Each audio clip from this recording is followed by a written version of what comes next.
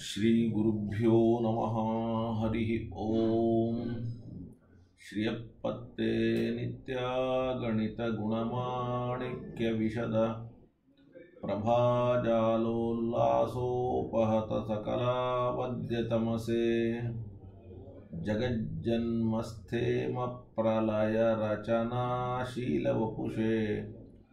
नमो अशेषाम्नाय स्मृतिहृदयदीप्ताय हरये। येन प्रादुरभावि भूमिवलये व्यस्तारिगोसन्ततिः प्राबोधिश्रुतिपङ्कजं करुणया प्रकाशितत्वं परम्। ध्वान्तं ध्वंसमनायि साधुनिकरश्चाकारि सन्मार्गगः। तेन व्यासदिवाकरेण सततं मात्याजि मे मानसम्। व्याप्तिर्यस्य निजे निजेन महसा पक्षे सपक्षे स्थितिः। व्यावृत्तिश्च विपक्षतोतविषये सक्तिर्न मयि बाधिते। नैवास्ति प्रतिपक्षयुक्तिरतुलं शुद्धं प्रमाणं समे। भूयात्तत्त्वविनिर्णयाय भगवानानन्दतीर्थो मुनिः। भवति यदनुभावातेडमुकोऽपि वाग्मी। जडमतिरपि जन्तुर्जायते प्राज्ञमौलिः। सकलवचनचेतो देवता भारती सा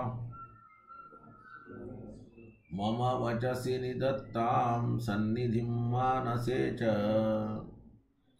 रमानिवासोचितवासभूमिः सन्न्यायरत्नावलिजन्मभूमिः वैराग्यभाग्यो मम पद्मनाभ तीर्थामृताब्जर्भवताद्विभूते। पदवाक्यप्रमाणज्ञान् प्रतिवादिमदच्छिदः श्रीमदक्षोभ्यतीर्थाख्यान् उपतिष्ठे गुरून्मम श्रीमदानन्दतीर्थार्यसन्मनःसरसि भुवि। अनुव्याख्याननलिने चञ्चरीकति मे मनः। न शब्दाब्धौ गाढा न च निगमचर्चा सुचतुरा। न च न्याये प्रौढा। न च विदितवेद्या अपि वयं परं श्रीमत्पूर्णप्रमतिगुरुकारुण्यसरणीं। प्रपन्ना मान्या स्मः किमपि च वदन्तोऽपि महतां भगवता बादरायणेन प्राणिनां निःश्रेयसाय प्रणीतमपि ब्रह्ममीमांसाशास्त्रम् असाधुनिबन्धान्धतमसा अवकुण्ठितत्वेन अप्रणीतमिव मन्यमानो भगवानानन्दतीर्थमुनिः। यथाचार्याभिप्रायम् अस्य भाष्यं विदाय अनुभाष्यमपि करिष्यन् विलीनप्रकृतितया। स्वयमन्तराय विदुरोऽप्य अनवरतमीश्वरप्रवणकाय करणवृत्तिरपि नारायणप्रणामादिकम्। प्रादीप्सितस्य अनन्तराय परिसमाप्ते प्रजयस्य च हेतुतया अविगीतशिष्टाचारपरम्परादिना अवगतमवश्यं करणीयं शिष्यान् ग्राहयितुं ग्रन्थादौ निबध्नाति।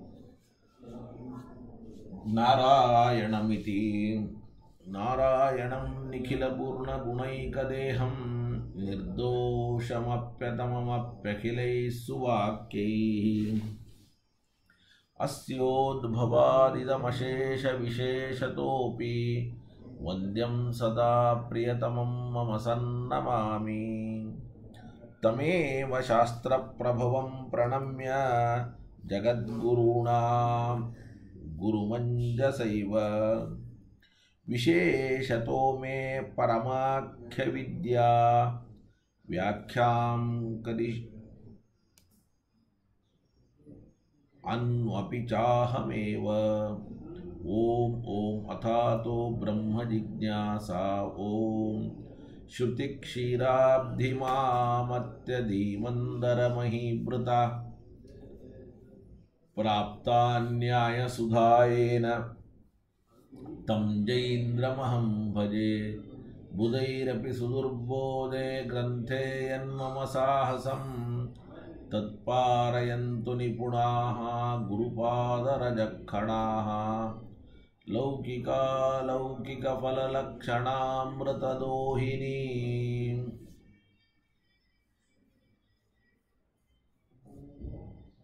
गुर्वनुग्रहरूपां तां कामधेनुमुपास्महे। मध्वोक्तिर्द्युनदी जयार्यशुभवाक्सूर्यात्मजा सङ्गमे व्याख्यास्नानमहो विदाय हरे प्राप्य प्रसादः परम् प्रापुर्ये कृतकृत्यतां गतमला विद्यादिराजादयो योगीशा कृपयन्तु ते जयमुनेर्भावस्य बोधा इमे। शुकेन शान्त्यादिषु वाङ्मयेषु। व्यासेन धैर्यें बुधिनोपमेयम् मनोजदित्यां मनसां हि पत्या रघुत्तमाख्यं सगुरुं नमामि।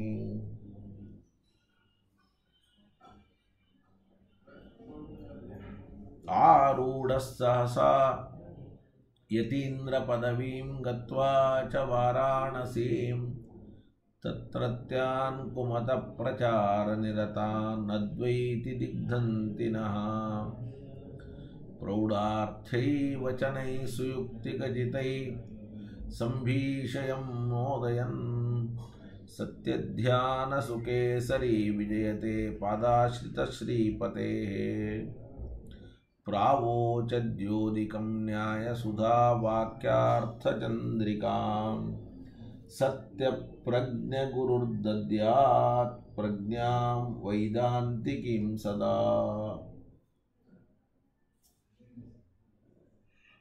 बन्धुस्त्वं गुरुरिष्टदैवतमिति त्वत्पादपङ्केरुहं प्राप्तं माँ परिपालयेति सततं याचे निबद्धाञ्जलिः। चित्तं मद्गुणदोषचिन्तनविदौ नूनं मनाग्माकृता सत्याभिज्ञगुरो त्वदङ्घ्रियुगलं हित्वा न मे सद्गतिः। सत्याभिज्ञकराब्जोत्थान् पञ्चाशद्वर्षपूजकान् सत्यप्रमोदतीर्थार्यान् नौमिन्यायसुदारतान् वेदेशमुनिसत्पादसेवा सम्प्राप्तवैभवान् यादवार्यान् वरसुधा टीकाकारान्वयन्नुमः पृथ्वीमण्डलमध्यस्थाः पूर्णबोधमतानुगाः वैष्णवाः विष्णुहृदयाः तान्नमस्ते गुरून् मम। शुभान् ध्यायन्ति एकामान् गुरुदेवप्रसादजान् इतरान् आत्मपापोत्थान् तेषां विद्या फलिष्यति। आपादमौलिपर्यन्तं गुरूणाम् आकृतिं स्मरेत्।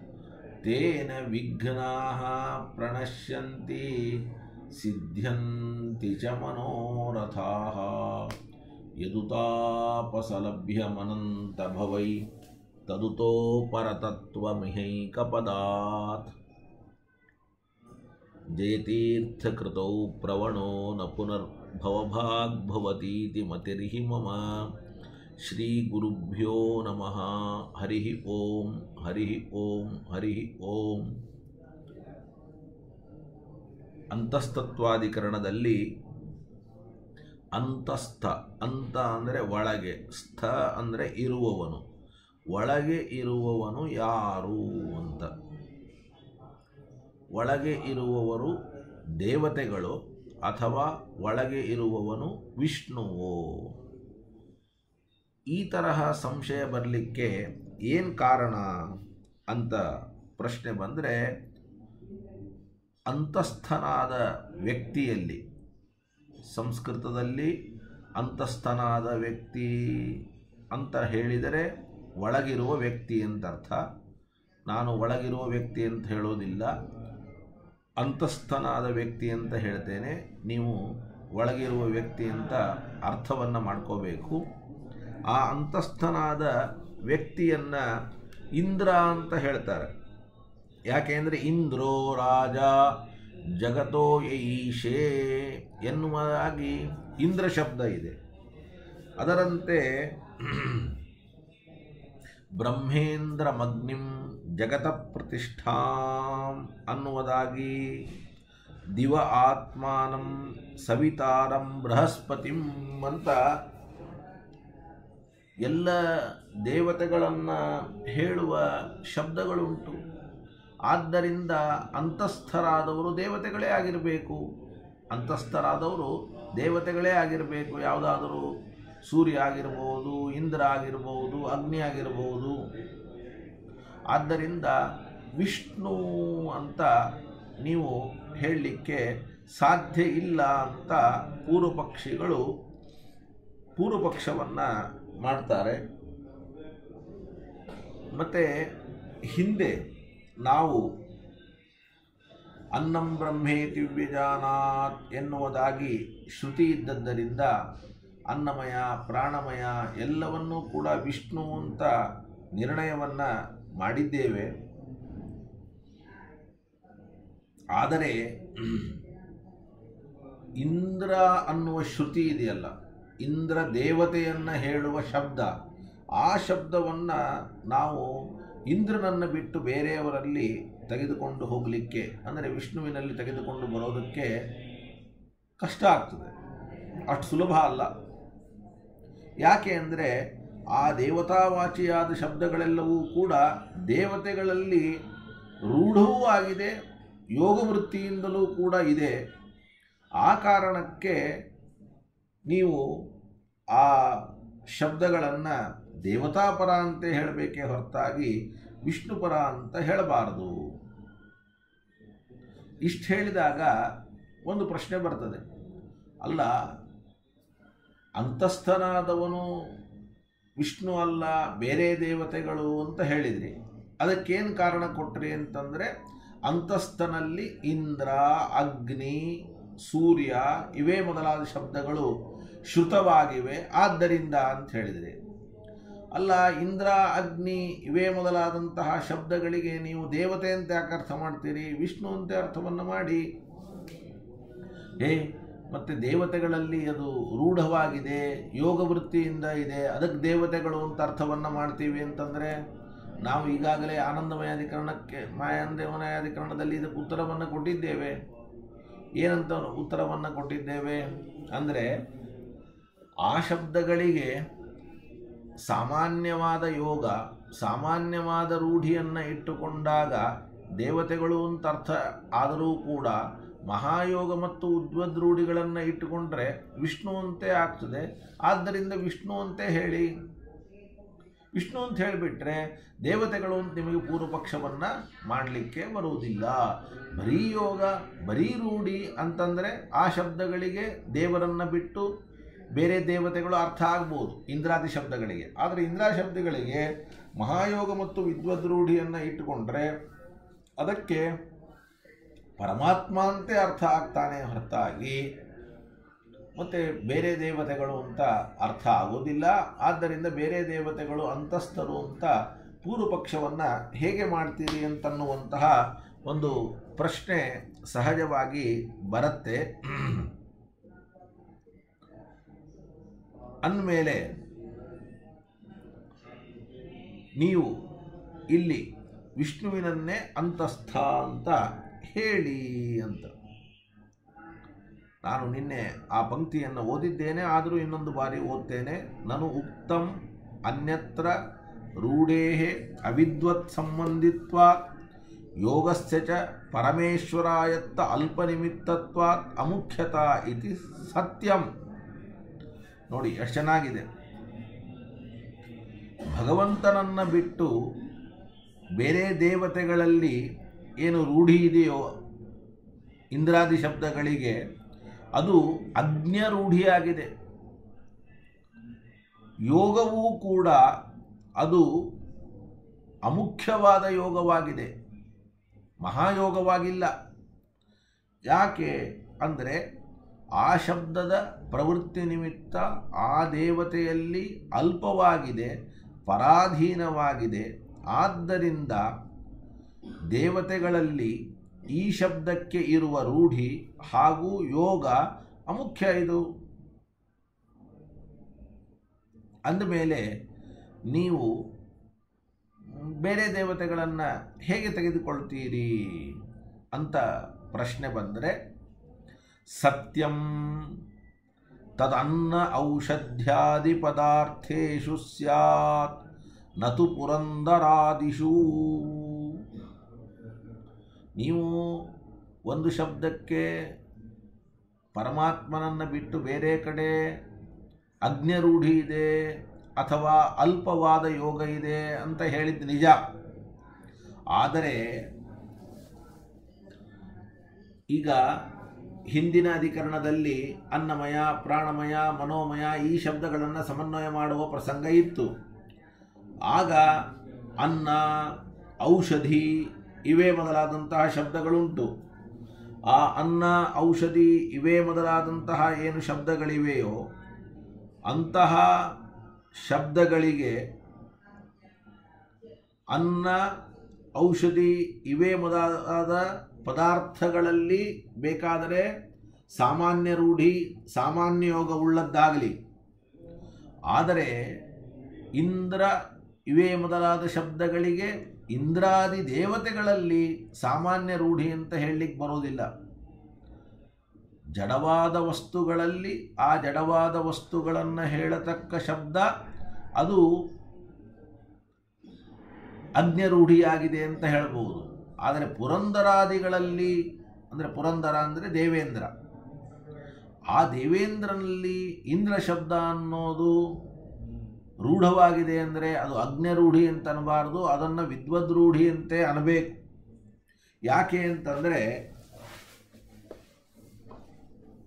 ಇಂದ್ರಾದಿಗಳಲ್ಲಿ ಇಂದ್ರಾದಿ ಶಬ್ದಗಳ ಪ್ರವೃತ್ತಿಗೆ ನಿಮಿತ್ತವಾದಂತಹ ಪರಮೈಶ್ವರ್ಯ ಇದೆ. ಅದು ಸ್ವತಂತ್ರ ಹಾಗೂ ನಿರವಧಿಕವಾಗಿ ಇರುವುದರಿಂದ ಪುರಂದರಾದಿಗಳಲ್ಲಿ ಮುಖ್ಯ ಯೋಗವೇ ಕೂಡ್ತದೆ. ಅಮುಖ್ಯ ಯೋಗ ಅಲ್ಲ ಮುಖ್ಯ ಯೋಗವೇ ಕೂಡ್ತದೆ. ನೀವೇನೆಂದರೆ ಪರಮಾತ್ಮನಲ್ಲಿ ಮಾತ್ರ ನಿರವಧಿಕವಾದ ಐಶ್ವರ್ಯ ಇದೆ. ಇಂದ್ರಾದಿಗಳಲ್ಲಿ ನಿರವಧಿಕವಾದ ಐಶ್ವರ್ಯ ಇಲ್ಲ ಅಂತ. ಆದರೆ ಪೂರ್ವ ಪಕ್ಷಿಗಳು ಏನು ಹೇಳ್ತಾರೆ ಅಂತಂದರೆ ಇಂದ್ರಾದಿಗಳಲ್ಲಿಯೂ ಕೂಡ ನಿರವಧಿಕವಾದ ಐಶ್ವರ್ಯವನ್ನೇ ಅಂಗೀಕಾರ ಮಾಡಿ ನಿರವಧಿಕವಾದ ಐಶ್ವರ್ಯ ಇಂದ್ರನಲ್ಲಿ ಇದ್ದದ್ದರಿಂದ ಇಂದ್ರ ಶಬ್ದ ಅನ್ನೋದು ಮಹಾಯೋಗ ವೃತ್ತಿಯಿಂದಲೇ ದೇವೇಂದ್ರನನ್ನು ಹೇಳ್ತದೆ ಅಂತ ಹೇಳ್ತಾರೆ. ಪ್ರವೃತ್ತಿ ನಿಮಿತ್ತಸ್ಯ ಪರಮೇಶ್ವರ್ಯಾದೇಹ ಅನವಧಿಕಸ್ಯ ಅಪರಾಯತ್ತಸ್ಯ ವಿದ್ಯಮಾನತ್ವೇನ ಮುಖ್ಯಯೋಗ ಉಪಪತ್ತೇ ಮುಖ್ಯಯೋಗವೇ ಕೂಡುತ್ತದೆ ಅಶಕ್ತೇಷು ಖಲು ಸಾಮಂತ್ಯಾದಿಷು ಸಾಮಂತಾದಿಷು ಐಶ್ವರ್ಯಾದಿಕಂ ಅಲ್ಪಂ ಪರಾಯತ್ತಂಚ ಭವತಿ ಏನ್ರಿ ಇಂದ್ರನಲ್ಲಿ ಇರುವಂತಹ ಐಶ್ವರ್ಯ ನಿರವಧಿಕ ಅಂತ ಹೇಳ್ತಿರಲ್ಲ ಅಂದರೆ ಹೌದು. ಸಾಮಾನ್ಯವಾಗಿ ಲೋಕದಲ್ಲಿರತಕ್ಕಂತಹ ರಾಜರು, ಲೋಕದಲ್ಲಿರತಕ್ಕ ಶ್ರೀಮಂತರಲ್ಲಿ ಬೇಕಾದರೆ ಸ್ವಲ್ಪ ಕಡಿಮೆ ಐಶ್ವರ್ಯ ಇದೆ ಅಂತ ಹೇಳಿ ಆ ಇಂದ್ರ ಶಬ್ದ ಪ್ರವೃತ್ತಿ ನಿಮಿತ್ತವಾದ ಐಶ್ವರ್ಯ ನಿರವಧಿಕವಾಗಿ ಇಲ್ಲದೇ ಇದ್ದದ್ದರಿಂದ ಶ್ರೀಮಂತರಲ್ಲಿ ಇಂದ್ರ ಶಬ್ದ ಮಹಾಯೋಗದಿಂದ ಇಲ್ಲ ಅಂತ ಹೇಳ್ಬೋದು. ಆದರೆ ದೇವೇಂದ್ರನಲ್ಲಿ ಮಹಾಯೋಗ ಇಂದ್ರ ಶಬ್ದಕ್ಕೆ ಇಲ್ಲ ಅಂತ ಹೇಳಬಾರದು. ಅಂದಮೇಲೆ ಒಂದು ಉದಾಹರಣೆಯನ್ನು ಕೊಡ್ತಾರೆ. ಅಶಕ್ತರವರು, ಭಾಳ ದೊಡ್ಡ ಶ್ರೀಮಂತರಲ್ಲ, ಸಾಮಂತರಾಜರು ಅಂತ ಕರೀತಾರೆ. ಅಂಥವರಲ್ಲಿ ಐಶ್ವರ್ಯಾದಿಗಳು ಅಲ್ಪ ಮತ್ತು ಇನ್ನೊಬ್ಬರ ಅಧೀನವಾಗಿದೆ. ಆದರೆ ದೇವಾಸ್ತು ಈ ಪಂಕ್ತಿ ನೋಡಿ. ಅಪ್ರತಿಹತಶಕ್ತಯ ಅವರನ್ನು ಯಾರೂ ತಡಿಲಿಕ್ಕೆ ಸಾಧ್ಯ ಇಲ್ಲ. ಅಂಥವರು ಕಥಮೇವಂ ಭವೇಯು ಕಥಮೇವಂ ಭವೇಯು ಅವರು ಅಲ್ಪಶಕ್ತಿ ಉಳ್ಳವರು ಹೆಂಗಾಗ್ತಾರೆ? ಅಲ್ಪ ಸಂಪತ್ತು ಉಳ್ಳವರು ಹೆಂಗಾಗ್ತಾರೆ? ಪರಮೇಶ್ವರ್ಯ ಉಳ್ಳವರೇ? ನಿರವಧಿಕವಾದ ಐಶ್ವರ್ಯ ಉಳ್ಳವರೇ? ಸ್ವತಂತ್ರವಾದ ಐಶ್ವರ್ಯ ಉಳ್ಳವರೇ? ಯಾಕೆಂದರೆ ಅವರು ನಿರವಧಿಕವಾದ ಐಶ್ವರ್ಯ ಉಳ್ಳವರು, ಅಂದರೆ ಇಂದ್ರನು ನಿರವಧಿಕವಾದ ಐಶ್ವರ್ಯ ಉಳ್ಳವನು ಅನ್ನೋದಕ್ಕೆ ಶ್ರುತಿ ಇದೆ. ತಾತ ಶ್ರುತಿ ಇಂದ್ರೋ ವೈ ದೇವಾನಾಂ ಓಜಿಷ್ಠ ಇತ್ತೇವಂ ಜಾತೀಯಕ. ಹೀಗೆ ಇಂದ್ರಾದಿ ದೇವತೆಗಳು ಬಹಳ ಉತ್ತಮ ಸ್ಥಾನದಲ್ಲಿ ಇದ್ದದ್ದರಿಂದ ಅಪ್ರತಿಹತವಾದ ಶಕ್ತಿ ಇದ್ದದ್ದರಿಂದ ಅವರೇ ಇಂದ್ರಾದಿ ಶಬ್ದಗಳಿಂದ ಮುಖ್ಯವಾಚ್ಯರು, ಅವರಲ್ಲಿಯೇ ಇಂದ್ರ ಶಬ್ದಕ್ಕೆ ಉದ್ವದ್ರೂಢಿ ಇದೆ, ಅವರಲ್ಲಿಯೇ ಇಂದ್ರ ಶಬ್ದಕ್ಕೆ ಮಹಾಯೋಗ ಇದೆ, ಪರಮಾತ್ಮನಲ್ಲಿಲ್ಲ. ಆದ್ದರಿಂದ ಅಂತಃಪ್ರವಿಷ್ಟನಾದವನು ದೇವೇಂದ್ರನೇ ಪರಮಾತ್ಮ ಅಲ್ಲ ಎನ್ನುವುದಾಗಿ ಪೂರ್ವಪಕ್ಷವನ್ನು ಮಾಡ್ತಾರೆ. ಇಷ್ಟು ಮಾತ್ರ ಅಲ್ಲ, ಪೂರ್ವಪಕ್ಷಿಗಳು ಇನ್ನೂ ಗಟ್ಟಿಯಾಗಿ ಪೂರ್ವಪಕ್ಷವನ್ನು ಮಾಡ್ತಾರೆ.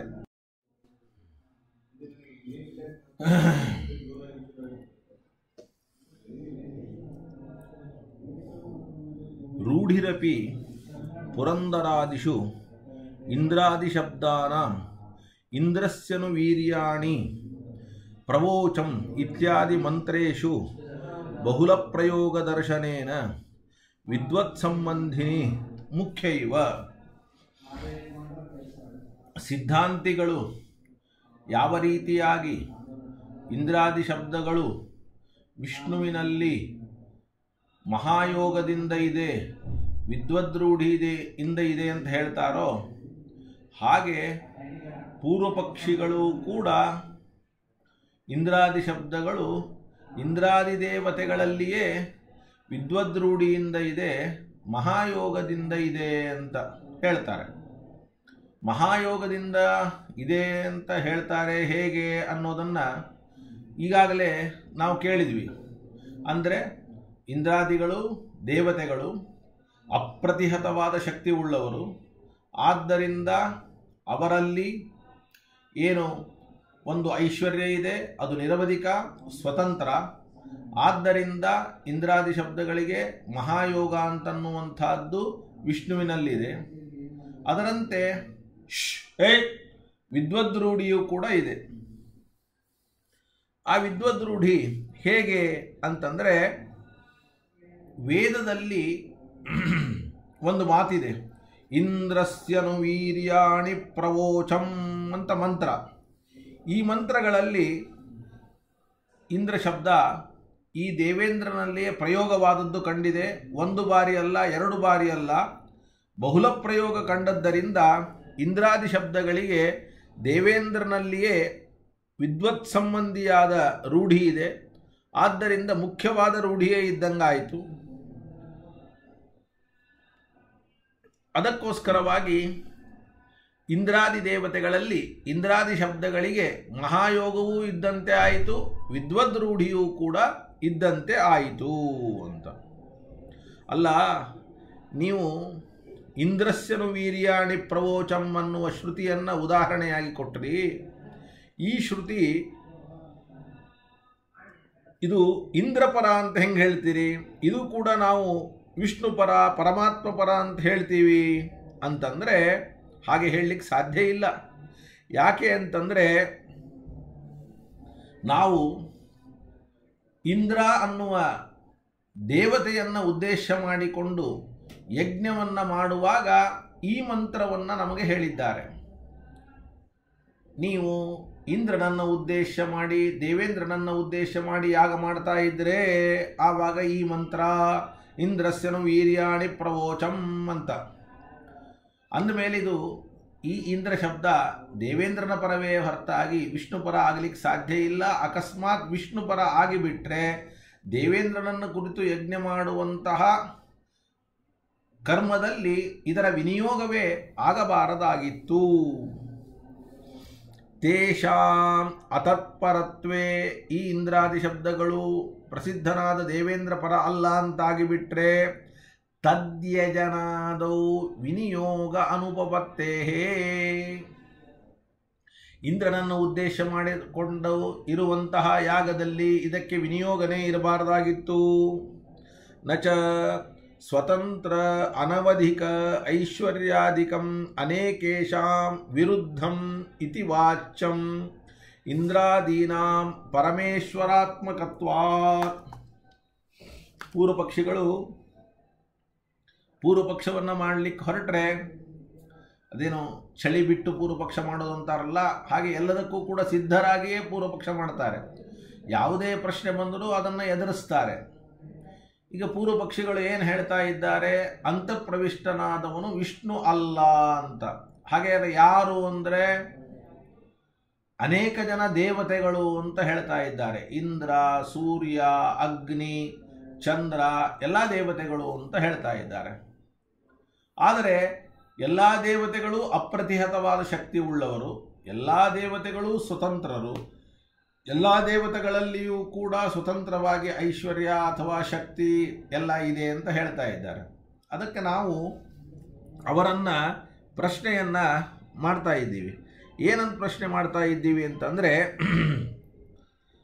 ಲೋಕದಲ್ಲಿ ಒಬ್ಬ ಸ್ವತಂತ್ರನಾದ ವ್ಯಕ್ತಿ ಇರಬಹುದೇ ಹೊರತಾಗಿ ಅನೇಕ ಜನ ಸ್ವತಂತ್ರರಾದ ವ್ಯಕ್ತಿಗಳು ಇರಲಿಕ್ಕೆ ಸಾಧ್ಯ ಇಲ್ಲ. ಸ್ವತಂತ್ರರಾದ ವ್ಯಕ್ತಿ ಒಬ್ಬನೇ. ಇನ್ನು ಎಲ್ಲರೂ ಕೂಡ ಪರತಂತ್ರರೇ. ಈಗಲಾದರೂ ಕೂಡ ಸ್ವತಂತ್ರರಾದವರು ಮತ್ತು ನಿರವಧಿಕವಾದ ಐಶ್ವರ್ಯವುಳ್ಳ ವ್ಯಕ್ತಿಗಳು ಅನೇಕ ಇದ್ದಾರೆ ಅಂತ ಹೇಳ್ತೀರಿ. ಹಾಗಿರ್ಲಿಕ್ಕೆ ಸಾಧ್ಯನೇ ಇಲ್ಲ.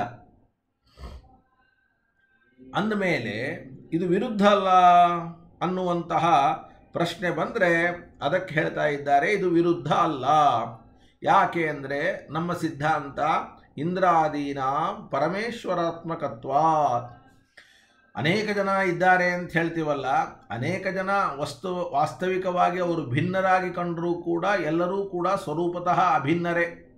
ಇಂದ್ರ, ಚಂದ್ರ, ಸೂರ್ಯ, ಅಗ್ನಿ, ವರುಣ, ಅದರಂತೆ ವಿಷ್ಣು, ಇವರೆಲ್ಲರೂ ಕೂಡ ಸ್ವರೂಪತಃ ಅಭಿನ್ನರಾಗಿದ್ದಾರೆ. ಆದ್ದರಿಂದ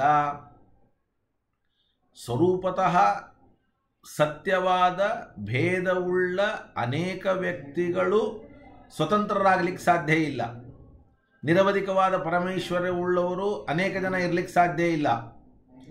ಶ್ ನರಸಿಂಹ. ಆದರೆ ಇಲ್ಲಿ ನಾವು ಹೇಳ್ತಾ ಇರುವಂಥದ್ದು ಸ್ವರೂಪತಃ ಎಲ್ಲರೂ ಕೂಡ ಅಭಿನ್ನರು, ಪರಮೇಶ್ವರಾತ್ಮಕತ್ವಾತ್ ಅಂತಾರೆ. ಇಂದ್ರಾದೀನಾಂ ಪರಮೇಶ್ವರಾತ್ಮಕತ್ವ ಅಂದರೆ ಎಲ್ಲ ದೇವತೆಗಳು ಕೂಡ ಪರಮೇಶ್ವರನ ಸ್ವರೂಪ. ಮುಗಿದೋಯ್ತು. ಅಂದರೆ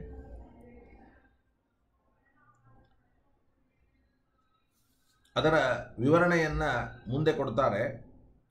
ಸ ಕಾರ್ಯವಶಾತ್ ತತ್ತದುಪಾಧಿ ಭೇದ ಭಿನ್ನ ತಾಹ ತಾಹ ಸಂಜ್ಞಾ ಲಭತೆ. ಹಾಗಾದರೆ ಬಹಳ ಜನ ಇಲ್ಲ, ಒಬ್ಬರೇ. ಮತ್ತು ಇಂದ್ರ, ಚಂದ್ರ, ಸೂರ್ಯ ಅಂತ ನಮಗೆ ಕಾಣಿಸ್ತದಲ್ಲ ಅಂತಂದರೆ ಒಬ್ಬನೇ ಭಗವಂತ. ಮುಗೀತು. ಯಾರಿದ್ದರೂ ಅವರೆಲ್ಲರೂ ಇವನಿಂದಲೇ ಅಭಿನ್ನರು. ಅವನಿಗೆ ಅನೇಕ ಶಬ್ದವಾಚ್ಯತ್ವ ಹೇಗೆ? ಒಬ್ಬನೇ ಭಗವಂತನಿಗೆ ಅನೇಕ ಶಬ್ದ ವಾಚ್ಯತ್ವ ಹೇಗೆ ಅಂತಂದರೆ ಅದಕ್ಕೆ ಉತ್ತರವನ್ನು ಕೊಡ್ತಾ ಇದ್ದಾರೆ. ಆ ಪರಮೇಶ್ವರನೇ, ಒಬ್ಬನೇ ಪರಮೇಶ್ವರನೇ ಕಾರ್ಯವಶದಿಂದ, ಆ ಆ ಉಪಾಧಿ ವಿಶೇಷಗಳಿಂದ ಭಿನ್ನನಾಗಿ ಕಾರ್ಯವಶದಿಂದ, ಆ ಆ ಉಪಾಧಿ ವಶದಿಂದ ವಿಶೇಷದಿಂದ ಭಿನ್ನನಾಗಿ ಇಂದ್ರ ಸೂರ್ಯ, ಬೃಹಸ್ಪತಿ ಇವೇ ಮೊದಲಾದ ಹೆಸರುಗಳನ್ನು ಹೊಂದುತ್ತಾನೆ. ಆದ್ದರಿಂದ ಒಬ್ಬನೇ ಅನೇಕ ಹೆಸರುಗಳಿಂದ, ಅನೇಕ ಶರೀರಗಳಿಂದ ಭಿನ್ನನಾದಂತೆ ತೋರ್ತಾನೆ.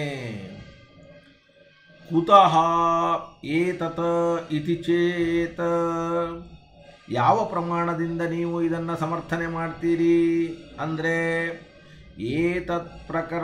ವಾಕ್ಯಶಾಬಲ್ಯಾನ್ಯಥ ಅನುಪಪತ್ಯ ಇತಿ ತಾವದ್ಬ್ರೂಮಃ ಈ ಒಂದು ಪ್ರಕರಣ ಇದೆ. ಈ ಪ್ರಕರಣದಲ್ಲಿ ಇಂದ್ರ, ಸೂರ್ಯ, ಚಂದ್ರ ಎನ್ನುವಂತಹ ಬೇರೆ ಬೇರೆ ದೇವತೆಗಳ ಪರವಾದ ಅನೇಕ ವಾಕ್ಯಗಳಿವೆ. ಆ ಅನೇಕ ವಾಕ್ಯಗಳು ಒಂದು ಕಡೆ ಸೇರಿವೆ. ಸೇದ್ದ, ಸೇರಿದ್ದರಿಂದ ಅವುಗಳನ್ನೆಲ್ಲ ಕೂಡಿಸ್ಬೇಕು. ಇಂದ್ರನನ್ನು ಹೇಳುವ ವಾಕ್ಯ, ಸೂರ್ಯನನ್ನು ಹೇಳುವ ವಾಕ್ಯ, ಅಗ್ನಿಯನ್ನು ಹೇಳುವ ವಾಕ್ಯ, ಇವುಗಳನ್ನೆಲ್ಲ ಕೂಡಿಸಬೇಕು. ಕೂಡಿಸಬೇಕು ಅಂತಂದರೆ ಆಗ ನಾವು ಐಕ್ಯವನ್ನು ಹೇಳಿದರೆ ಕೂಡಿಸ್ಲಿಕ್ಕೆ ಸಾಧ್ಯವೇ ಹೊರತಾಗಿ ಇಲ್ಲದೇ ಇದ್ದರೆ ಸಾಧ್ಯ ಅಂತನ್ನತಕ್ಕಂಥದ್ದು ಇಲ್ಲ. ಅದಕ್ಕೋಸ್ಕರವಾಗಿ ಅರ್ಥಾಪತ್ತಿ ಪ್ರಮಾಣದಿಂದ ನಾವು ಎಲ್ಲರ ಸ್ವರೂಪವೂ ಕೂಡ ಅಭಿನ್ನವಾಗಿದೆ ಅಂತ ಈ ರೀತಿಯಾಗಿ ಹೇಳುತ್ತೇವೆ. ತಥಾಹಿ ಅದು ಹೇಗೆ? ಅರ್ಥಾಪತ್ತಿ ಪ್ರಮಾಣದ ವಿವರಣೆಯನ್ನು ಕೊಡಿ ಅಂದರೆ ಕೊಡ್ತಾರೆ. ಅದೃಶ್ಯೇ ಅನಾತ್ಮೆ ಇತಿ ಆನಂದಮಯ ಲಕ್ಷಣತ್ವೇನ ಉಕ್ತಂ ಅದೃಶ್ಯತ್ವಂ ಇಹ ನವಿಜಾನಂತಿ ವಿಜಾನಂತಿ ದೇವಾಹ ಇತಿ ಉಚ್ಯತೆ. ನೋಡಿ, ಅದೃಶ್ಯೇ ಅನಾತ್ಮೆ ಎನ್ನುವುದಾಗಿ ಆನಂದಮಯನ ಲಕ್ಷಣ ಅಂತ ಹೇಳಿದ್ದು ಅದೃಶ್ಯತ್ವ. ನಿಮಗೆ ನೆನಪಿರಬೇಕು ಆನಂದಮಯಾಧಿಕರಣದಲ್ಲಿ ಕೇಳಿದ್ದೀರಿ, ಅದೃಶ್ಯತ್ವ ಅನ್ನೋದು ಆನಂದಮಯನ ಲಕ್ಷಣ. ಹಿಂದಿನ ಅಧಿಕರಣದಲ್ಲಿ ಆನಂದಮಯನಿಗೆ ಯಾವ ಅದೃಶ್ಯತ್ವ ಅನ್ನುವ ಲಕ್ಷಣವನ್ನು ಹೇಳಲ್ಪಟ್ಟಿದೆಯೋ, ಆ ಅದೃಶ್ಯತ್ವ ಅನ್ನುವ ಲಕ್ಷಣವನ್ನೇ ಈ ಪ್ರಕರಣದಲ್ಲಿ ಈ ಪ್ರಕರಣದಲ್ಲಿ ಅಂತಂದರೆ ಅಂತಸ್ತತ್ವಾಧಿಕರಣದಲ್ಲಿ ಅಂತಸ್ಥನ ಬಗ್ಗೆ ಹೇಳುವಾಗ, ನವಿಜಾನಂತಿ ದೇವಾಹ ಎನ್ನುವುದಾಗಿ ಅನೇಕ ದೇವತೆಗಳಿಗೆ ಸಂಬಂಧಪಡುವಂತೆ ಆ ಅದೃಶ್ಯತ್ವ ಅನ್ನುವ ಲಕ್ಷಣವನ್ನು ಹೇಳಲ್ಪಟ್ಟಿದೆ. ಈ ಅದೃಶ್ಯತ್ವ ಎನ್ನುವಂತಹ ಏನು ಬ್ರಹ್ಮನ ಲಿಂಗ ಇದೆ, ಹಾಗೂ ಇಂದ್ರಾದಿ ಶ್ರುತಿ ಇದೆ. ಬ್ರಹ್ಮಲಿಂಗ, ಇಂದ್ರಾದಿ ಶ್ರುತಿ, ಇಂದ್ರಾದಿಗಳ ಲಿಂಗ ಇವೆರಡೂ ಕೂಡ ಒಟ್ಟಿಗೆ ಸೇರ, ಸೇರಿಬಿಟ್ಟಿದೆ. ಒಟ್ಟಿಗೆ ಸೇರಿಬಿಟ್ಟಿದ್ದರಿಂದ ನಾವು ಇವುಗಳನ್ನು ಕೂಡಿಸ್ಬೇಕು ಅಂತಂದರೆ ಬ್ರಹ್ಮನಿಗೂ, ಇಂದ್ರಾದಿ ದೇವತೆಗಳಿಗೂ ಅಭೇದವನ್ನು ಹೇಳಿದರೆ ಮಾತ್ರ ಸಾಧ್ಯವೇ? ಇಲ್ಲದೇ ಇದ್ದರೆ ಇಲ್ಲ. ಯಾಕೆ ಅಂದರೆ ಹಿಂದಿನ ಅಧಿಕರಣದಲ್ಲಿ ಆನಂದಮಯನಿಗೆ ಹೇಳಿದ ಅದೃಶ್ಯತ್ವವನ್ನು ಇಲ್ಲಿ ಅಂತಸ್ಥರಾದ ದೇವತೆಗಳಿಗೆ ಹೇಳಿದ್ದಾರೆ. ಇಂದ್ರ ಶಬ್ದ ಇದೆ, ಸೂರ್ಯ ಶಬ್ದ ಇದೆ. ಹಾಗಾದ್ರೆ ಸೂರ್ಯ ಶಬ್ದ, ಇಂದ್ರ ಶಬ್ದ ಇದ್ದದ್ದರಿಂದ ನಾವು ಅದೃಶ್ಯನಾದವನು ಸೂರ್ಯಾದಿಗಳು ಅಂತ ತಿಳ್ಕೊಳ್ಬೇಕು, ಇಂದ್ರಾದಿಗಳು ಅಂತ ತಿಳ್ಕೊಳ್ಬೇಕು, ಅಥವಾ ಅದೃಶ್ಯನಾದವನು ಬ್ರಹ್ಮ ಅಂತ ತಿಳ್ಕೊಳ್ಬೇಕೋ. ಈ ಸಂಶಯಕ್ಕೆ ಹೋಗೋದೇ ಬೇಡ. ಈ ಸಂಶಯಕ್ಕೆ ನಾವು ಹೋಗದೇನೆ ನೇರವಾಗಿ ಏನಂತ ಹೇಳಬಹುದು ಅಂತಂದರೆ, ನೋಡಿ, ಇಬ್ಬರಿಗೂ ಐಕ್ಯವನ್ನು ಹೇಳಿಬಿಟ್ರೆ ಆಯಿತು. ಎರಡೂ ವಾಕ್ಯಗಳಿಗೂ ಕೂಡ ಗತಿಕಲ್ಪನೆಯನ್ನು ಮಾಡಿದಂತೆ ಆಗ್ತದೆ. ಇಂದ್ರಾದಿ ಶಬ್ದಗಳನ್ನೂ ಕೂಡಿಸಿದಂತೆ ಆಗ್ತದೆ. ಅದೃಶ್ಯತ್ವವನ್ನು ಕೂಡ ಕೂಡಿಸಿದಂತೆ ಆಗ್ತದೆ. ಆದ್ದರಿಂದ ಇಂದ್ರಾದಿ ಶಬ್ದಗಳು ಕೇವಲ ಇಂದ್ರನನ್ನು ಹೇಳ್ತದೆ. ಅದೃಶ್ಯತ್ವ ಅನ್ನೋದು ಕೇವಲ ಬ್ರಹ್ಮನನ್ನು ಹೇಳ್ತದೆ ಅಂತ ಬೇಡೇ ಬೇಡ. ಆ ಎರಡೂ ವಾಕ್ಯಗಳನ್ನು ಹೊಂದಾಣಿಕೆ ಮಾಡುವುದಕ್ಕೋಸ್ಕರವಾಗಿ ಇಂದ್ರಾದಿ ದೇವತೆಗಳಿಗೂ ಬ್ರಹ್ಮನಿಗೂ ಐಕ್ಯವನ್ನು ಹೇಳಿಬಿಟ್ರೆ ಶ್ರುತಿಯೂ ಕೂಡ್ತು ಲಿಂಗವೂ ಕೂಡ ಕೂಡ್ತದೆ. ಆದ್ದರಿಂದ ಐಕ್ಯವನ್ನು ಹೇಳಿ ಅಂತ ಒಂದು ಆಕ್ಷೇಪವನ್ನು ಮಾಡ್ತಾ ಇದ್ದಾರೆ. ಅದೃಶ್ಯೇ ಅನಾತ್ಮೆ ಇತಿ ಆನಂದಮಯ ಲಕ್ಷಣತ್ವೇನ ಉಕ್ತಂ ಅದೃಶ್ಯತ್ವಂ ಇಹ ನ ವಿಜಾನಂತಿ ದೇವಾಹ ಇತ್ಯುಚ್ಯತೆ. ಸಮಾನಾಧಿಕರಣಾನಿ ಚ ಇಂದ್ರಾದಿಶ್ರುತಿಲಿಂಗಾನಿ. ನೋಡಿ, ಒಂದೇ ವಿಭಕ್ತಿಯಲ್ಲಿವೆ ಶ್ರುತಿಲಿಂಗಗಳು. ಏಕಂ ವಾಕ್ಯಂ ಅನೇಕ ವಿಷಯಂ ಭವತಿ ವ್ಯಾಘಾತಾತ್ ಒಂದೇ ವಾಕ್ಯದಲ್ಲಿ ಅನೇಕ ವಿಷಯಗಳು ವ್ಯಾಹತ ಒಂದೇ ವಾಕ್ಯ ಇದೆ। ಆದರೆ ಇದು ಅನೇಕ ವ್ಯಕ್ತಿಗಳ ಪರ, ಇಂದ್ರ ಪರ, ಬ್ರಹ್ಮ ಪರ, ಸೂರ್ಯ ಪರ ಅಂತ ಹೇಳಲಿಕ್ಕೆ ಬರೋದಿಲ್ಲ. ಒಂದೇ ವಾಕ್ಯವು ಅನೇಕ ವಿಷಯವುಳ್ಳದ್ದಾಗಿ ಅನೇಕ ವಾಕ್ಯ ಅಂತಾಗಲಿ ಅಂತಂದರೆ ಅದು ಆಗೋದಿಲ್ಲ. ಒಂದೇ ವಾಕ್ಯದಲ್ಲಿ ಅನೇಕ ವಿಷಯಗಳನ್ನು ಹೇಳಲಿಕ್ಕೆ ಹೋದರೆ ಅದು ವ್ಯಾಹತ ಯಾಕೆಂದರೆ ಇದು ಇಂದ್ರನನ್ನು ಹೇಳ್ತದೆ ಅಂತ ಹೇಳಬೇಕು ಅಥವಾ ಸೂರ್ಯನನ್ನು ಹೇಳ್ತದೆ ಅಂತ ಹೇಳಬೇಕು. ಇಂದ್ರನನ್ನೂ ಹೇಳ್ತದೆ, ಸೂರ್ಯನನ್ನೂ ಹೇಳ್ತದೆ ಇಬ್ಬರನ್ನೂ ಒಂದೇ ವಾಕ್ಯ ಹೇಳಲಿಕ್ಕೆ ಸಾಧ್ಯ ಇಲ್ಲ. ಇಲ್ಲ, ಅನೇಕ ವಿಷಯ ಇದೆ, ಅದಕ್ಕೆ ವಾಕ್ಯವನ್ನು ಒಂದು ಅಂತ ಯಾಕೆ ಮಾಡ್ತೀರಿ? ಅನೇಕ ವಾಕ್ಯ ಅಂತ ಮಾಡ್ತೀರಿ ಅಂತಂದರೆ ಅನೇಕ ವಾಕ್ಯನೂ ಆಗೋದಿಲ್ಲ. ಯಾಕೆಂದರೆ ಅದಕ್ಕೊಂದು ಪ್ರಮಾಣ ಕೊಡ್ತಾರೆ. ಅನೇಕ ವಿಷಯ ಉಳ್ಳದ್ದಕ್ಕೆ ವಾಕ್ಯ ಅನೇಕ ಆಗಲಿ ಅಂದರೆ ಆಗೋದಿಲ್ಲ ಅನ್ನೋದಕ್ಕೊಂದು ಪ್ರಮಾಣ. ಅರ್ಥೈಕತ್ವಾದೇಕಂ ವಾಕ್ಯಂ ಸಾಕಾಂಕ್ಷಂ ಚೇದ್ವಿಭಾಗೇ ಸ್ಯಾತಂತ ಏನಂತ? ಒಂದೇ ವಿಷಯವನ್ನು ಪ್ರತಿಪಾದಿಸುವ ಭಿನ್ನ ಭಿನ್ನ ಪದಗಳು ಅಥವಾ ವಾಕ್ಯಗಳು ಏಕವಾಕ್ಯ ಅಂತ ಅನ್ನಿಸ್ತದೆ ಏಕವಾಕ್ಯ ಅಂದರೆ ಒಂದೇ ವಿಷಯವನ್ನು ಪ್ರತಿಪಾದಿಸುವ ಅನೇಕ ಪದಗಳು ಇದ್ದರೆ ಅದನ್ನು ಏಕವಾಕ್ಯ ಅಂತ. ಇಂತಹ ಏಕವಾಕ್ಯದಲ್ಲಿ ಪ್ರತಿಪಾದ್ಯವಾದ ವಿಷಯಗಳು ಭಿನ್ನ ಭಿನ್ನ ಎನ್ನುವುದು ವಿರುದ್ಧವಾದದ್ದು. ಇದಕ್ಕೆ ನಾವು ಈಗ ಕೇಳಿದ್ವಲ್ಲ, ಅದು ಜೈಮಿನಿ ಸೂತ್ರ. ಆ ಜೈಮಿನಿ ಸೂತ್ರಕ್ಕೆ ಅರ್ಥ ಏನು ಅಂದರೆ, ಎಷ್ಟು ಪದಗಳಿಂದ ಒಂದೇ ವಿಷಯವು ಪ್ರತಿಪಾದಿಸಲ್ಪಡುತ್ತದೆಯೋ ಅಷ್ಟು ಪದಗಳ ಸಮೂಹ ಸೇರಿ ಒಂದು ವಾಕ್ಯ ಅಂತ ಅನಿಸ್ತದೆ. ಅದಲ್ಲದೆ ಒಂದು ಪದವು ಇಲ್ಲ ಅಂತಾದರೆ ಆಗ ಆಕಾಂಕ್ಷ ಉಂಟಾಗ್ತದೆ. ಅದರ ನಿವೃತ್ತಿಗಾಗಿ ಯಾವ ಶಬ್ದವನ್ನು ಪ್ರಯೋಗಿಸಲ್ಪಡತ್ತೋ ಆ ಶಬ್ದವುಳ್ಳದ್ದು ಒಂದು ವಾಕ್ಯ. ಅಂತ. ಕಲ್ಪನೆ ಬಂತಲ್ಲ?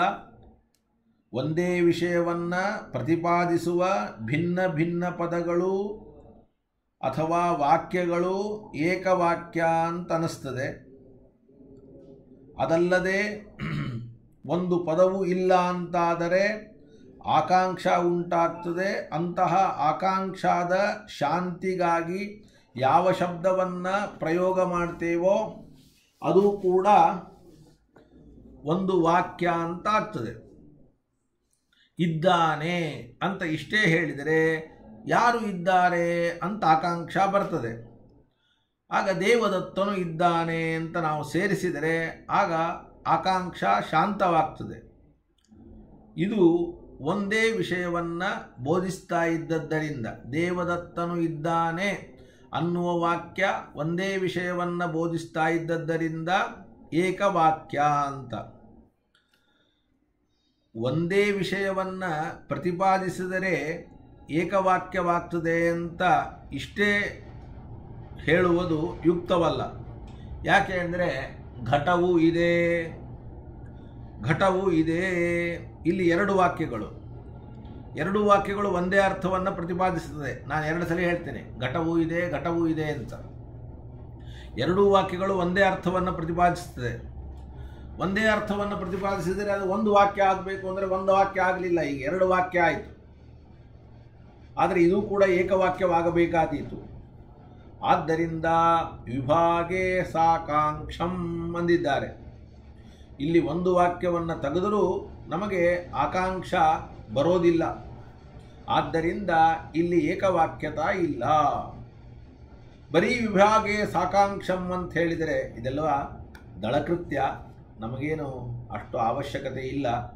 ಜೈಮಿನ್ಯಾಚಾರ್ಯರ ಸೂತ್ರದಲ್ಲಿ ಬಳಸಿದ ಪದಗಳ ಸಾರ್ಥಕತೆ. ಅದರ ಬಗ್ಗೆ ಚರ್ಚೆಯನ್ನು ಮಾಡ್ತಾರೆ. ನಾವೇನು ಚರ್ಚೆಯನ್ನು ಮಾಡೋದು ಬೇಡ. ನೇರವಾಗಿ ವಿಷಯಕ್ಕೆ ಹೋಗೋಣ. ಆದ್ದರಿಂದ ಅಂತೂ ಏಕವಾಕ್ಯತ ಕೂಡಬೇಕಾದರೆ ಏಕ ವಿಷಯತ್ವವನ್ನು ಹೇಳಬೇಕು. ಏಕ ವಿಷಯತ್ವವನ್ನು ಹೇಳಬೇಕಾದರೆ ಎಲ್ಲರಿಗೂ ಐಕ್ಯವನ್ನು ಹೇಳಿದರೆ ಮಾತ್ರ ಏಕ ವಿಷಯತ್ವ ಬರ್ತದೆ ಹೊರತಾಗಿ, ಇಲ್ಲ ಅಂದರೆ ಭಿನ್ನ ವಿಷಯತ್ವ ಬರ್ತದೆ. ಭಿನ್ನ ವಿಷಯತ್ವ ಬಂದರೆ ಏಕವಾಕ್ಯತ ಇಲ್ಲ. ನ ಚ ಅತ್ರ ಏಕೋಪಾದಾನೇನ ಅಪರಪರಿತ್ಯಾಗೆ ಕಾರಣಂ ಅಸ್ತಿ. ನ ಚ ಅತ್ರ ಏಕೋಪಾದಾನೇನ ಅಪರಪರಿತ್ಯಾಗೆ ಕಾರಣಂ ಅಸ್ತಿ. ಇಲ್ಲಿ ಏಕ ವಿಷಯತ್ವವನ್ನು ಮಾಡೋದಕ್ಕೆ ನಾವು ಇಂದ್ರ ಒಬ್ಬನನ್ನೇ ಇಟ್ಕೋತೀವಿ. ಉಳಿದವರೆಲ್ಲರನ್ನು ಕೂಡ ಬಿಟ್ಬಿಡ್ತೀವಿ ಅಂತಂದರೆ ಬೇರೆಯವರನ್ನು ಬಿಡುವುದಕ್ಕೆ ಯಾವ ಕಾರಣವೂ ಕೂಡ ಇಲ್ಲ.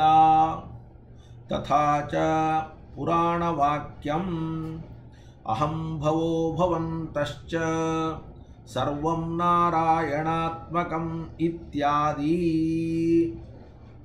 ಅಲ್ಲ, ನೀವು ಇಷ್ಟು ಏಕವಾಕ್ಯತೆಯನ್ನು ಕೂಡುವುದಕ್ಕೆ ಕೂಡಿಸುವುದಕ್ಕೆ ಆ ವಾಕ್ಯದಲ್ಲಿ ಯಾರ್ಯಾರು ಬಂದಿದ್ದಾರೋ ಅವರೆಲ್ಲರಿಗೂ ಕೂಡ ಅಭೇದವನ್ನು ಹೇಳ್ತಾ ಇದ್ದೀರಿ. ಇದು ಸರಿನಾ? ಅಂದರೆ ಅದಕ್ಕೆ ಅಭೇದ ಇದೆ ಅನ್ನೋದಕ್ಕೆ ಪುರಾಣ ವಾಕ್ಯವನ್ನು ಉದಾಹರಿಸ್ತಾ ಇದ್ದಾರೆ. ಯಾವುದದು ಪುರಾಣ ವಾಕ್ಯ?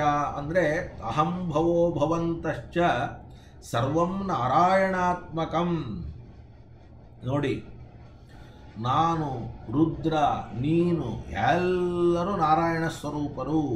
ನಮ್ಮ್ಯಾರಲ್ಲಿಯೂ ಕೂಡ ಭೇದ ಅಂತ ಅನ್ನೋದು ಇಲ್ಲ ಅಂತ ಪರಮಾತ್ಮನೇ ಹೇಳಿದ್ದಾನಂತೆ. ಹೀಗೆ ಅಭೇದವು ಪ್ರಮಾಣ ಸಿದ್ಧವಾದದ್ದರಿಂದ ಭೇದಶ್ರುತಿಗಳನ್ನು ನಾವು ವಿತರ ವಿಷಯ ಎನ್ನುವುದಾಗಿ ವ್ಯಾಖ್ಯಾನಿಸಬೇಕು. ಅಲ್ರಿ?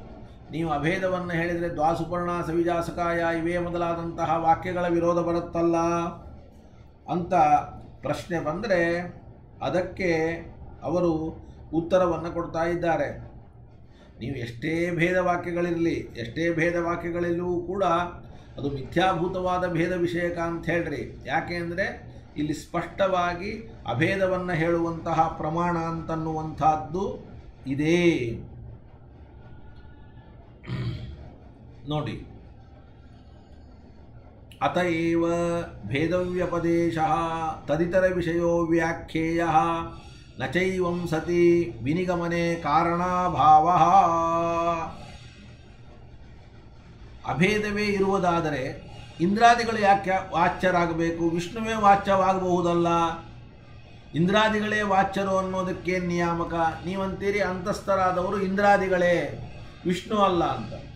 ವಿಷ್ಣುವಿನನ್ನು ಹೇಳುವ ಶಬ್ದಗಳೂ ಇದೆ, ಇಂದ್ರಾದಿಗಳನ್ನು ಹೇಳುವ ಶಬ್ದಗಳೂ ಇದೆ, ಎರಡೂ ಶಬ್ದಗಳಿದ್ದಾಗ ವಿಷ್ಣು ಬೇಡ, ಇಂದ್ರಾದಿಗಳೇ ಅನ್ನೋದಕ್ಕೆ ಏನು ನಿಯಾಮಕ ಅನ್ನುವಂತಹ ಒಂದು ಪ್ರಶ್ನೆ ಬಂದರೆ, ಅನುಪಹಿತ ಧರ್ಮಾಣ ಉಪಹಿತೆ ಸಂಭವಾತ್ ವೈಪರೀತ್ಯಸ್ಯ ಅಸಂಭವಾತ್. ಪ್ರಸಿದ್ಧವಾದದ್ದು ನಿಮಗೆ ಅನೇಕ ಬಾರಿ ನಾನು ಇದನ್ನು ಹೇಳಿದ್ದೇನೆ. ಅನುಪಹಿತನಾದವನು ವಿಷ್ಣು. ಅವನ ಅದೃಶ್ಯತ್ವಾದಿ ಧರ್ಮಗಳು ಉಪಹಿತರಾದ ಇಂದ್ರಾದಿ ದೇವತೆಗಳಲ್ಲಿ ಬರಬಹುದು. ಆದರೆ ಉಪಹಿತರಾದ ಇಂದ್ರಾದಿಗಳ ಲಿಂಗಗಳು, ಧರ್ಮಗಳು ಅನುಪಹಿತನಾದ ವಿಷ್ಣುವಿನಲ್ಲಿ ಬರಲಿಕ್ಕೆ ಸಾಧ್ಯ ಇಲ್ಲ. ಆದ್ದರಿಂದ ಇಂದ್ರಾದಿಗಳೇ ಅಂತಃಪ್ರವಿಷ್ಟರು ತಸ್ಮಾತ್ ಇಂದ್ರಾದಯ ಏವ ಅಂತಃಪ್ರವಿಷ್ಟತ್ವೇನ ಪ್ರತಿಪಾದ್ಯಂತೆ ಇತಿ ಅಂತ ಉಪಹಿತ, ಅನುಪಹಿತ ಅಂದರೆ ಉಪನಯನ ಆದವರು, ಉಪನಯನ ಆಗದೇ ಇದ್ದವರು ಅಂತ ಈ ರೀತಿಯಾಗಿ ಅರ್ಥವನ್ನು ಮಾಡಿಕೊಳ್ಬೇಡಿ. ಉಪಹಿತ, ಅನುಪಹಿತ ಅಂತಂದರೆ ಉಪಾಧಿಯಿಂದ ವಿಶಿಷ್ಟರಾದವರು, ಉಪಾಧಿ ಇಲ್ಲದವರು ಅಂತ. ಇಂದ್ರಾದಿ ದೇವತೆಗಳೆಲ್ಲರೂ ಕೂಡ ಉಪಾಧಿ ವಿಶಿಷ್ಟರಾದವರು, ಅಂದರೆ ಶರೀರಾದಿಗಳು ಉಳ್ಳವರು, ಬ್ರಹ್ಮ ಇವನು ನಿರುಪಾಧಿಕ, ಶರೀರಾದಿಗಳು ಇಲ್ಲದವನು.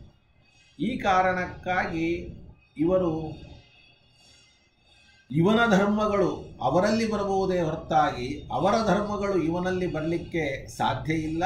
ಆದ್ದರಿಂದ ನಾವು ಇಂದ್ರಾದಿಗಳೇ ಅಂತ ನಿರ್ಧಾರ ಮಾಡ್ತೀವಿ. ವಿಷ್ಣು ಅಲ್ಲ ಅಂತ ನಿರ್ಧಾರ ಮಾಡ್ತೀವಿ. ವಿಷ್ಣುವಿನ ಧರ್ಮ ಇಂದ್ರಾದಿಗಳಲ್ಲಿ ತರಬಹುದು. ಇಂದ್ರಾದಿಗಳ ಧರ್ಮ, ಇಂದ್ರಾದಿಗಳ ಶ್ರುತಿಯನ್ನು ವಿಷ್ಣುವಿನಲ್ಲಿ ತರಲಿಕ್ಕೆ ಸಾಧ್ಯ ಇಲ್ಲ. ಅದಕ್ಕೆ ಅಂತಃಪ್ರವಿಷ್ಟರಾದವರು ಇಂದ್ರಾದಿ ದೇವತೆಗಳೇ ಎನ್ನುವುದಾಗಿ ಪೂರ್ವಪಕ್ಷವನ್ನು ಮಾಡ್ತೇವೆ. ಇಷ್ಟು ಪೂರ್ವಪಕ್ಷವನ್ನು ಮಾಡಿದ ಮೇಲೆ ಸಿದ್ಧಾಂತವನ್ನು ಮಾಡ್ತಾ ಇದ್ದಾರೆ. ಏವಂ ದೇವಾನಾಂ ಇಂದ್ರಾದೀನಾಂ ತತ್ರ ಸ್ವತಂತ್ರ ಅನವಧಿಕ ಇಂದ್ರಾದಿಶಬ್ದ ಪ್ರವೃತ್ತಿ ನಿಮಿತ್ತವತ್ತಾಯಾಂ ಶಕ್ತತಾಂ ತತಶ್ಚ ಇಂದ್ರಾದಿಶಬ್ದಾನಾಂ ತತ್ರ ಮಹಾಯೋಗವೃತ್ತಿಂ ಇತಿ ಶೇಷಃ ಈ ರೀತಿಯಾಗಿ ದೇವಾನಾಂ ತತ್ರ ಶಕ್ತತಾಂ ಅಂತ ಅನುವ್ಯಾಖ್ಯಾನದಲ್ಲಿದೆ ದೇವಾನಾಂ ತತ್ರ ಶಕ್ತತಾಂ ಅಂತ. ದೇವಾನಾಂ ಅನ್ನೋದಕ್ಕೆ ಇಂದ್ರನೇ ಮೊದಲಾದ ದೇವರಿಗೆ ತತ್ರ ಅಂದರೆ ಸ್ವತಂತ್ರವಾದ, ಅನಧಿಕವಾದ, ಇಂದ್ರಾದಿ ಶಬ್ದ ಪ್ರವೃತ್ತಿ ನಿಮಿತ್ತ ಇರುವವರು ಎನ್ನುವ ವಿಷಯದಲ್ಲಿ ಶಕ್ತತಾಂ ಶಕ್ತಿಯನ್ನ. ಇದು ಅನುವ್ಯಾಖ್ಯಾನಕ್ಕೆ ಅರ್ಥ. ಆದ್ದರಿಂದಲೇ ಇಂದ್ರಾದಿ ಶಬ್ದಗಳಿಗೆ, ಇಂದ್ರಾದಿ ದೇವತೆಗಳಲ್ಲಿ ಮಹಾಯೋಗ ವೃತ್ತಿಯನ್ನು ಆಶಂಕೆ ಮಾಡಿ, ನೀವು ಇಂದ್ರಾದಿ ಶಬ್ದಗಳಿಗೆ ದೇವತೆಗಳಲ್ಲಿ ವಿದ್ವದ್ರೂಢಿಯನ್ನು ಹೇಳ್ತಾ ಇದ್ದೀರಲ್ಲ, ಇದು ಸರಿ ಅಲ್ಲ. ತತಶ್ಚ ಇಂದ್ರಾದಿ ಶಬ್ದಾನಾಂ ತತ್ರ ಮಹಾಯೋಗವೃತ್ತಿಂ ಇತಿ ಶೇಷಃ, ತಥಾ ತತ್ ಶಬ್ದಾನಾಂ ಇಂದ್ರಾದಿ ಶಬ್ದಾನಾಂ ತತ್ರ ಪುರಂದರಾದಿದೇವೇಶು ಸ್ವಯಮಪಿ ಸಾಕ್ಷಾದಪಿ ವಿದ್ವತ್ ಸಂಬಂಧಿನೀಮಪಿ ಇತಿ ಯಾವತ ರೂಢಿಂಚ ಅಭ್ಯಧಿಕಾ ಶಂಕ್ಯ, ಅಭ್ಯಧಿಕಾ ಆಶಂಕ್ಯ. ಇಷ್ಟ ತನಕ ಓದಿದ್ದು ಅನುವ್ಯಾಖ್ಯಾನದ ಅರ್ಥ. ಅನುವ್ಯಾಖ್ಯಾನದಲ್ಲಿ ಈ ರೀತಿಯಾಗಿ ಹೇಳಿದ್ದಾರೆ. ಅಂದರೆ ನೀವು ಯಾವುದೇ ಕಾರಣದಿಂದಲೂ ಕೂಡ ಇಂದ್ರಾದಿ ದೇವತೆಗಳು ಮಹಾಯೋಗದಿಂದ ವಿದ್ವದ್ರೂಢಿಯಿಂದ ಈ ಶಬ್ದದಿಂದ ವಾಚ್ಯರಾಗಿದ್ದಾರೆ. ಆದ್ದರಿಂದ ಅವರೇ ಅಂತಃಪ್ರವಿಷ್ಟರು ಅಂತ ಹೇಳುವಂತಹ ಮಾತು ಸರಿಯಾದದ್ದು ಅಲ್ಲ. ಅದನ್ನು ಖಂಡನೆ ಮಾಡೋದಕ್ಕೆ ಸೂತ್ರಕಾರರು, ಓ ಅಂತಸ್ತರ್ಮೋಪದೇಶ ಓ ಅಂತನ್ನುವಂತಹ ಸೂತ್ರವನ್ನು ಮಾಡಿದ್ದಾರೆ. ಅದರ ಸಿದ್ಧಾಂತವನ್ನು ಮತ್ತೆ ನೋಡೋಣ ಅಂತ ಹೇಳ್ತಾ श्रीकृष्णापणमस्तू